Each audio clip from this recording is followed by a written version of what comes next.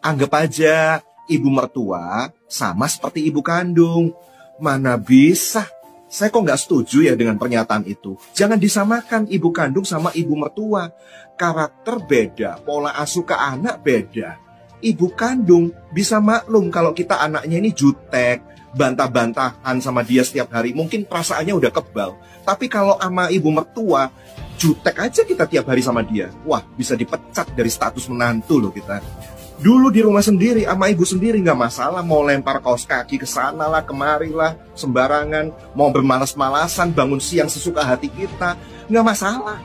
Tapi kalau hidup sama ibu mertua kayak gitu, wah bisa diusir loh kita dari rumahnya. Jadi nggak bakalan sama lah ibu kandung sama ibu mertua. Kuncinya pandai-pandailah beradaptasi. Syukur-syukur bisa dengan cepat. Tahu diri lah, tahu sikon, sebelum menuntut ibu mertua sempurna, coba jujur, apakah emang kita ini udah menjadi menantu yang sempurna buat beliau?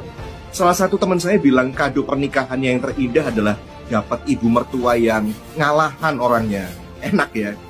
Tapi teman saya yang lain bilang wanita tanpa ibu mertua itu adalah wanita yang paling hoki sedunia katanya.